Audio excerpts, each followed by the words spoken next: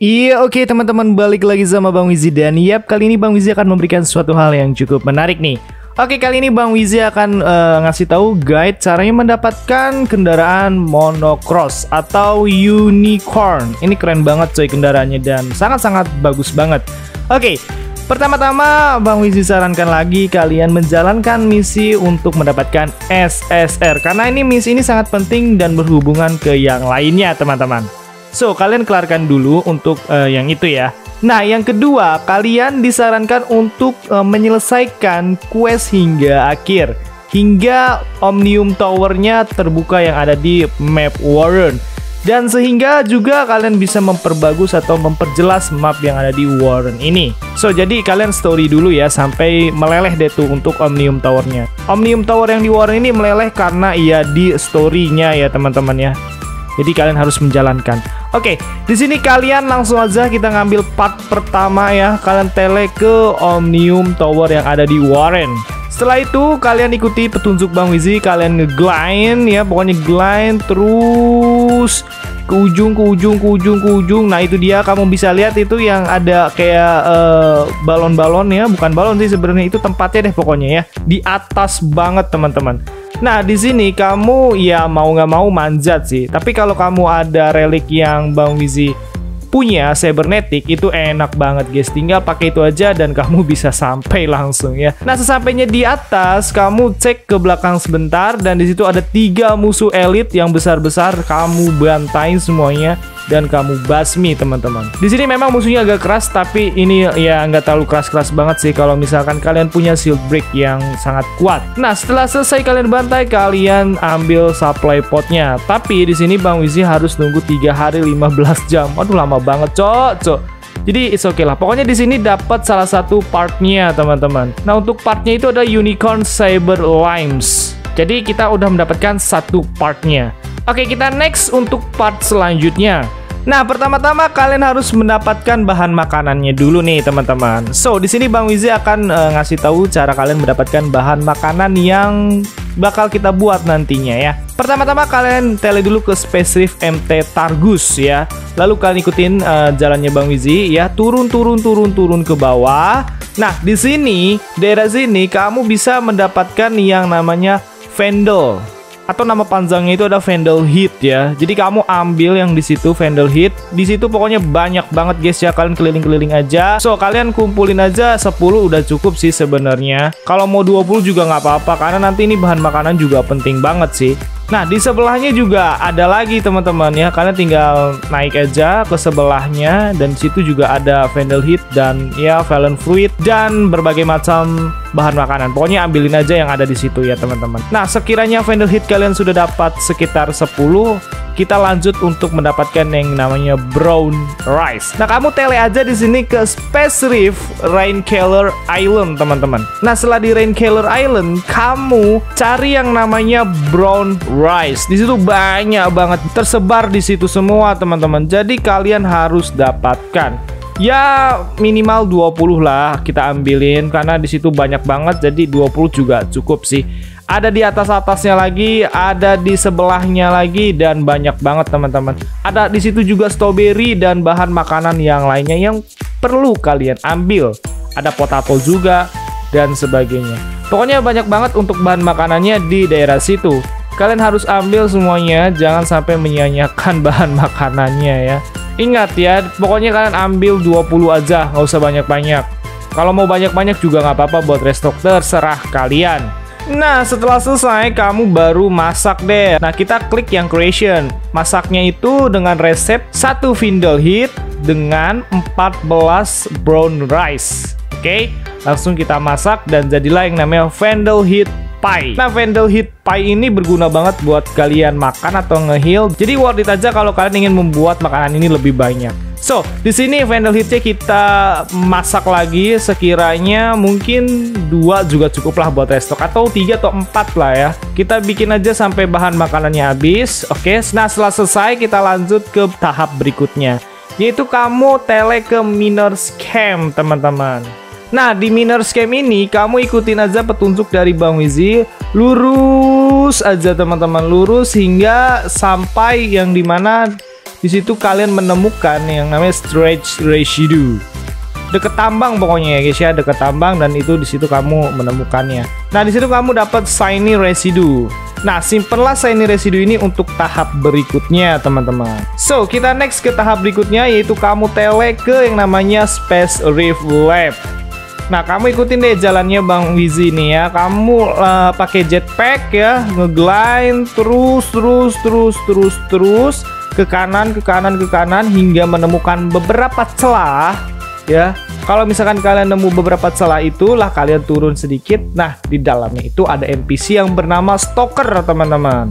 Nah, di Stalker ini kalian berbincang-bincang ya, lalu kalian klik berikan residunya. Nah, di sini kamu bercakap-cakap nih sama Stalker dan di sini dia sangat kangen yang namanya Head Pie. Jadi Head Pie-nya itu yang tadi kita buat berguna untuk si stalker ini teman-teman. Nah setelah selesai bercakap-cakap, kamu klik lagi dan interaksi bercakap-cakap lagi dan kamu berikan yang namanya Head Pie-nya ya. Jadi kalian berikan ya yang, yang tadi sudah kita siapkan dan kita mendapatkan yang namanya ore extract. Nah ini yang digunakan untuk kepentingan tahap selanjutnya teman-teman. So, next di sini kita balik lagi ke yang namanya miners camp ya. Kamu lurus aja terus ya, lurus aja. Lurus lurus lurus lurus lurus balik lagi ke tempat yang tadi dan kita ketemu tempat yang tadi dan ini kita harus aktifkan yang namanya energy conversation device. Ingat urutannya jangan salah teman-teman. Di sini Bang Wizi kasih tahu ya dan tolong perhatikan baik-baik. Nah, kita ambil yang pertama ini untuk yang device-nya. Kita interaksi device-nya dan kamu klik ya. Lalu kamu klik ganti ke gear 3. Oke, untuk yang pertama ganti gear yang ketiga. Nah, untuk yang device kedua, kamu lakukan hal yang sama dan kamu klik ganti ke gear yang pertama. Nah, untuk device yang ketiga, kamu klik ya lagi dan kamu ganti gear yang kedua. Nah, seperti itu teman-teman. Jadi berhasil dan sukseslah untuk uh, menghancurkan batu-batu ini.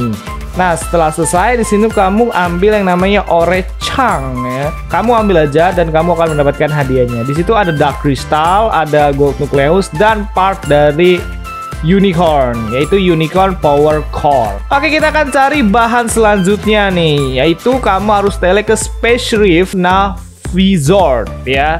Jadi kamu tele aja di situ lalu kamu nyebrangin laut pakai seluncuran aja ya. Lalu sampai di tengah-tengah dan dekat uh, bangunan tersebut ya kamu langsung pakai jetpack dan terbang naik ke atas, naik ke atas, naik ke atas, masuk pintu. Nah, di sini kodenya yaitu 7092, teman-teman. Jadi masuk. Nah, di sini nggak boleh sampai salah banget, teman-teman ya. Karena di sini kalau misalkan kalian salah, iya kalian bakal keluar sendiri. Ikutin uh, jalannya Bang Wizi ya. Kita lewat belakang aja, jangan sampai ketahuan yang merah-merah ikutin stepnya Bang Wizi di mana harus berhenti, di mana harus jalan dan di mana harus nunduk. Seperti itu ya guys ya. Nah ini musuhnya memang agak ngeselin. Oke, kita ikutin dari belakang dan jangan lupa juga untuk uh, selalu always ya mepet ke pojok kiri teman-teman. Karena di pojok kiri itu ada yang namanya tempat persembunyian kita. Jadi biar nggak ke gap atau ketahuan. Nah jangan lupa nunduk nih. Kalau di PC itu ya pencet Z sih kalau misalkan mau nunduk. Seperti itu ya guys ya tunggu sampai dia keluar baru kita uh, jalan lagi terus terus terus terus terus terus terus sampai di mana kita menemukan beberapa belokan-belokan lah ya. Nah di sini kamu harus berhenti nih teman-teman. Nah, di sini kamu pojok kiri lagi ya, bersembunyi teman-teman, bersembunyi dari musuh-musuhnya. Jangan sampai ketahuan ya. Kalau ketahuan ya bisa berabe gitu kan. Oke, tunggu mereka sampai keluar. Nah, baru kita lanjutkan lagi keluar mengindap-ngindap. Lalu lurus, lurus. Memang ini agak panjang ya teman-teman ya untuk menyusupnya. Tapi gua rasa kalian pasti bisa. Nah, di sini berhenti lagi. Jangan sampai ketahuan ya sama yang lainnya. Nah, di sini kamu uh, incer pojok kiri ya, pojok kiri, pojok kiri, pojok kiri, dan di situlah yang namanya supply potnya. Di sini Mbak Wizi sudah buka dan ini dapat part untuk unicorn teman-teman nama partnya itu ya unicorn bionic frame Oke, seperti itu. Next kita lanjut ke part yang terakhir ini yang paling susah karena ya kita harus bermain RNG. Nah, untuk part terakhir ini kita harus bunuh musuh dan ya drop dari dia, teman-teman. Kamu langsung aja tele ke uh, Miners Camp ya. Lalu ikutin jalannya Bang Wizi. Ini nggak jauh-jauh banget kok dari uh, Space Reef ya. Di situ kamu harus bunuh yang namanya Devote ya default Noah. Nah, di sini namanya default Noah. Jadi kamu harus bantai ya. Recommended kalian bawa senjata Volt karena dia lemah terhadap Volt. Nah, misalkan kalian sudah bantai tapi gak dapet, tenang ya.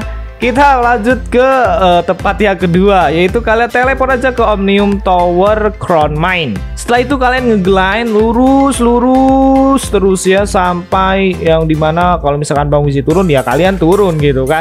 Nah sampai pojok ini kalian turun turun turun turun turun turun turun turun dan di situ ada yang namanya devote eber. Kamu bantai lah di situ ya teman-teman ya. Kamu sikat, sikat, sikat, sikat, sikat, dan misalkan nggak dapet juga, ya balik lagi ke tempat pertama. Yes, hanya dua spot aja sih ini kalau misalkan untuk unicorn. Well, memang rate-nya busuk, jujur aja busuk banget. 0,3% lah kayak gaza aja teman-teman ya. Dan itu dropnya susah banget, cok, cok bener-bener ekstra keras kalau kalian pengen dapetin ini dengan farm seperti ini. Well, kalau lu yang beruntung ya selamat deh bisa dapet uh, unicorn ini dan bisa bergaya. Sampai sekarang pun Bang Wizi belum dapet dapet pak, partnya ya susah cuy. Ya Tuhan, gua nggak tahu kenapa nggak pernah beruntung kalau misalkan uh, ngedrop ngedrop barang kayak gini. Entahlah. so seperti itu aja teman-teman untuk cara mendapatkan unicorn ini atau monocross ya. Well ini keren banget ya. Tampil keren dengan mudah dan gratis. Kapanlagi.com ya nggak sih? Yoman Kalian bisa buat mejeng Kalian bisa buat gaya-gaya pakai kuda ini teman-teman. Nah buat kalian yang ada pertanyaan mengenai video ini Atau guide ini silahkan aja tulis komentar di bawah ya. Dan buat kalian yang butuh guide yang lainnya Kalian bisa cek linknya ada di deskripsi. Di situ semua lengkap jadi kalian tinggal nonton aja So, itu aja videoku. Buat kalian selamat beraktivitas dan jangan lupa ngopi hari ini. Bye-bye.